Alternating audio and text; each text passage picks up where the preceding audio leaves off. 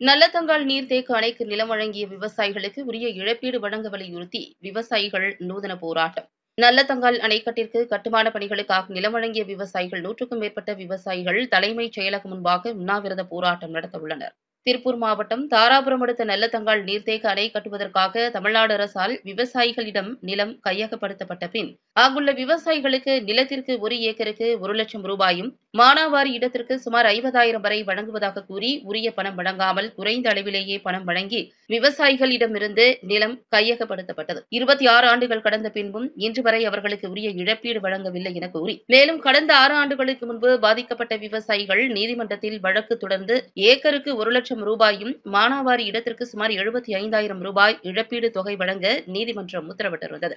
இன்று வரை இழப்பீட்டுத் தொகை வழங்காததை கண்டித்து தமிழ்நாடு அரசின் கவனத்தை ஈர்க்கும் வகையில் விவசாயிகள் ஐம்பத்தி ஏழாம் நாளாக கவன ஈர்ப்பு ஆர்ப்பாட்டத்தில் ஈடுபட்டு வருகின்றனர். ஐம்பத்தி ஏழு நாட்களாக கடந்தும் இதுவரை பொதுப்பணித்துறை அதிகாரிகள் பேச்சுவார்த்தைக்கு வரவில்லை. நல்லதங்கால் அணைக்கு நிலம் வழங்கிய விஜயன் என்பவர் இறந்த பிணம் போல வேடமிட்டு அவர் இறந்துவிட்டதாக கருதி பெண்கள் ஒப்பாரியிட்டு இறந்த இல்லம் இல்லத்தில் நடைபெறும் சடங்குகள் போல் நெத்தியில் ஒரு ரூபாய் நாணயம் வைத்து தலைக்கு துண்டு கட்டி வெள்ளை வேஷ்டி விரித்து பாடை கட்டி வைத்து நாற்காலியில் அமர வைத்து பெண்கள் ஒப்பாரியிட்டு கவனஈர்ப்பு ஆர்ப்பாட்டத்தில் ஈடுபட்டனர். நாளை அக்டோபர் பத்தாம் தேதி காலை நல்லதங்கால் அணைக்கட்டிற்கு கட்டுமான பணிகளுக்காக நிலம் வழங்கிய விவசாய விவசாயிகள் நூற்றுக்கும் மேற்பட்ட விவசாயிகள் சென்னை தலைமைச் செயலகம் முன்பு உண்ணாவிரத போராட்டத்தில் ஈடுபடப் போவதாக தெரிவித்தனர். திருப்பூர் மாவட்டம் தாராபுரம் வட்டம் பொன்னிவாடி கிராமத்தில் நல்லதங்கால் அணை கட்டுமானத்திற்காக இருபத்தி மூணு ஆண்டுகளுக்கு முன்னால் அரசாங்கத்தால் நிலம் கையகப்படுத்தப்பட்டது. அதற்காக ஒரு குறைந்தபட்ச இழப்பீட்டுத் தொகை விவசாயிகளுக்கு வழங்கப்பட்டது.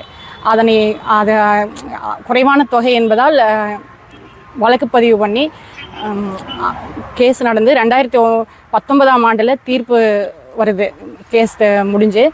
அதுக்கப்புறம் கொடுக்க எங்களுக்கு இன்னும் இழப்பீட்டுத் தொகையை கொ- அரசாங்கத்திலேருந்து கிடைக்கவே இல்லை. அதனால் நாங்கள் கடந்த ஜூன் மாதத்தில் சென்னைக்கு சென்று தலைமைச் செயலகத்தில் போராட்டம் நடத்தினோம்.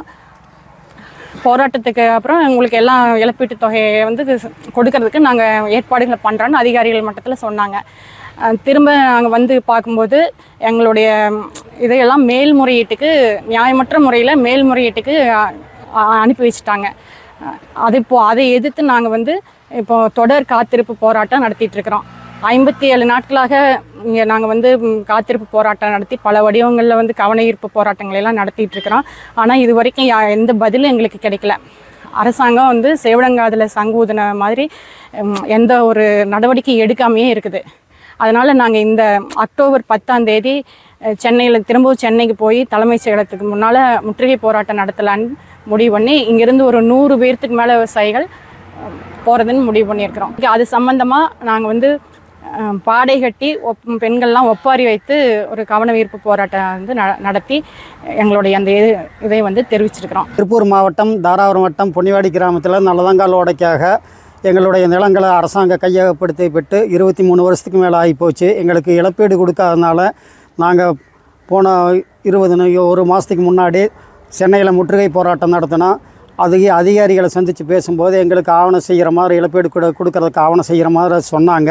ஆனால் இதுவரையில் எங்களுக்கு எந்த விதமான முன்னேற்றமும் தெரியாதனால நாங்கள் இந்த ஐம்பத்தி ஏழு நாட்களாக தொடர் ப ப- பந்தல் போட்டு தொடர் பாதுகாப்பு காத்திருப்பு போராட்டம் நடத்திக்கிட்டு வர்றோம். இந்த ஐம்பத்தி ஏழாவது நாள் போராட்டமாக நாங்கள் அரசாங்கத்தை ஈர்க்கும் வகையில் புணம் வச்சு ஒப்பேரி வச்சு பெண்கள்லாம் சேர்ந்து நாங்கள் அரசாங்கத்தை கவன ஈர்ப்புக்கு கொண்டுக்கிட்டு போகிறதுக்கு முடிவு பண்ணி நாங்கள் இன்றைக்கி போராட்டம் நடத்தினோம். நாளை ஒன்பதாம் தேதி இரவு நாங்கள் சென்னை மு- முற்றுகை போராட்டத்துக்காக இப்போ இங்கிருந்து பாதிக்கப்பட்ட விவசாயிகள் அனைவரும் சென்னை கிளம்பி பத்தாம் தேதி அன்னைக்கு தமிழக செயல தலைமைச் செயலகத்தை முற்றுகை போராட்டம் நடத்தி நாங்கள் ஒரு தீர்வு அரசாங்கத்துக்கிட்ட எதிர்ப்பு தெரிவித்து எங்களுக்கு இழப்பீடு எடுக்கிறதுக்கு ஆவணம் செய்கிறதுக்கு ஏற்பாடு பண்ணுறோம் ஆகவே அரசாங்கம் இதை முன்னிறுத்தி எங்களுக்கு வேகமாக இழப்பீடு கொடுக்க வேண்டுமாய் கேட்டுக்கொள்கிறோம்.